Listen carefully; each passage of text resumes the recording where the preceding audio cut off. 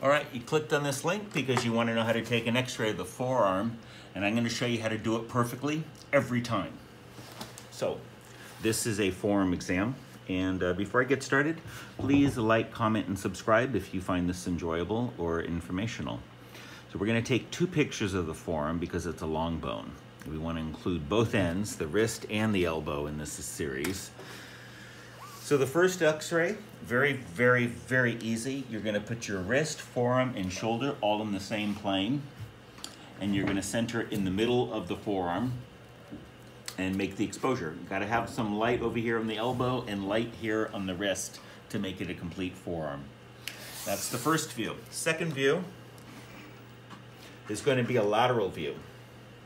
And so for this, you're just gonna take it, make a 90 degree angle and bring it down like this you want to have light coming into the wrist and also light coming behind the elbow, like that. Keep the thumb straight up in the air and uh, expose.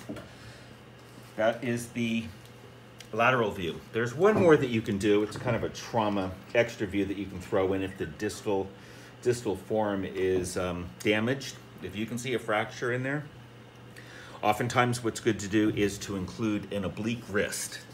And so the oblique wrist is just 45 degrees up, and you're just getting an extra view down here of the bones and the architecture. So those are the two views plus this view of the forearm. Again, if you like the video, please comment, like, and subscribe, and thanks for watching. Uh, the next one is gonna be of the elbow.